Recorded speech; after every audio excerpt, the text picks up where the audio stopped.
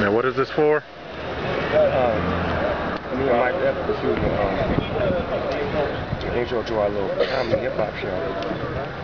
When I come by and pick him up, him and Baby D had an argument, they stayed together.